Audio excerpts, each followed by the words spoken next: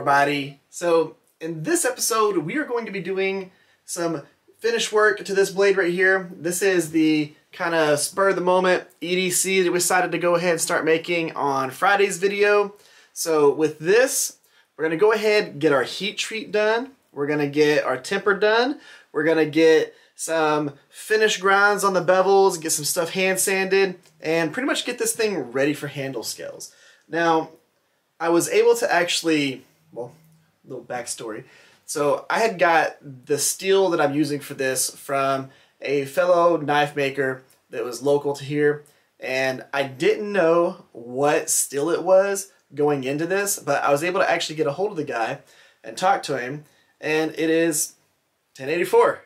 So nothing complicated, nothing crazy like that. So we'll be able to heat treat it just like 1084. Uh, basically what I'm going to do, I, I am going to do a, a few rounds of normalizing because the piece that I cut this off of actually had some area that he had forged into a knife. So there was some heat put through this. I don't know how much heat, I don't know how much, you know, shock or anything like that was put through this steel. So I'm going to go ahead normalize it. So basically what I'm going to do, and this might not be everybody's normalizing schedule or cycle, but what I'm going to do is bring it up to about 1600 degrees, between that 1575 and 1600 degree range, and then I'm to let it cool down. We're to bring it back up to about 1500 degrees, let it cool down, then we're to bring it up to about 1425 degrees, let it cool down, and then for the heat treat process, I'm to go ahead, bring it up to 1475 degrees, and then we're going to quench it in Parks 50. Now, I've been trying different methods between doing quenchant for something like 1084 in Parks 50 or in my peanut oil that I've been doing for a while. So I've been trying to see what the results look like. Uh, I'm going to be doing it in Parks 50 on this one see how it goes, see what type of hardness we get. I'm excited about this. I think it's going to turn out pretty good, and I think this is going to be a cool looking knife when it's all said and done. So without further ado, let's jump in the other shop. Let's get this thing heat treated and go from there.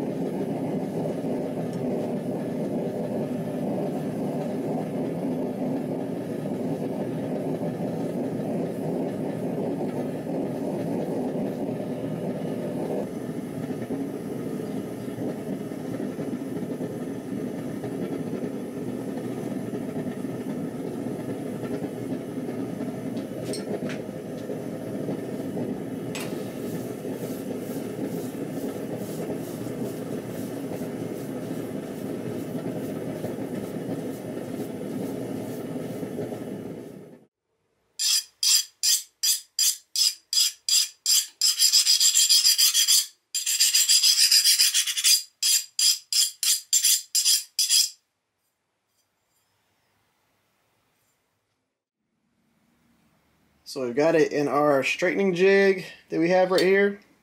We did pick up just a little bit of a warp. The tang kind of kicked out just a little bit. So we've got it straightened out. We're going to go ahead, put it in the oven at about 375 degrees for just over an hour. So, so we're going to go ahead and do and get this done.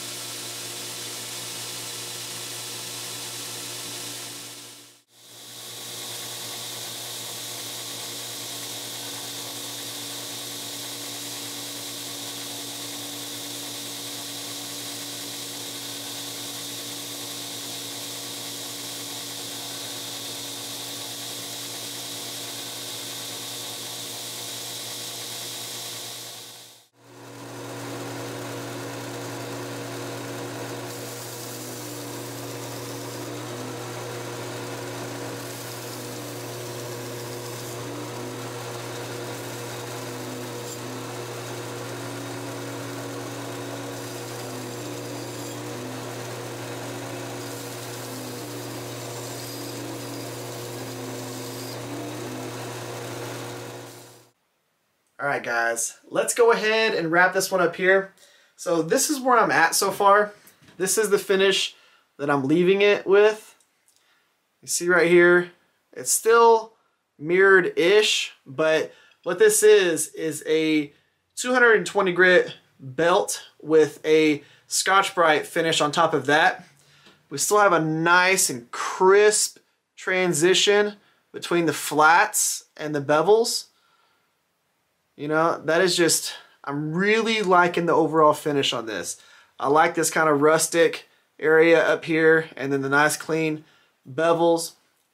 Now, I don't know yet. I don't know if I'm going to leave the bevels the finish that they are right now. I might try to, I don't know, hand sand them. I haven't decided. For, but for this point, I'm, I'm happy with the way that it is right now. And I wanted it just to be a nice, clean, and rustic-ish style EDC. But you never know. We'll see how it goes. I've wanted to make this profile for a little while. I really like the way it is and it's such a good profile that even with no scales on it, it's super comfortable in the hand because it just fits my hand perfectly all the way around. I mean, it's just like, just the ergonomics on this are insane.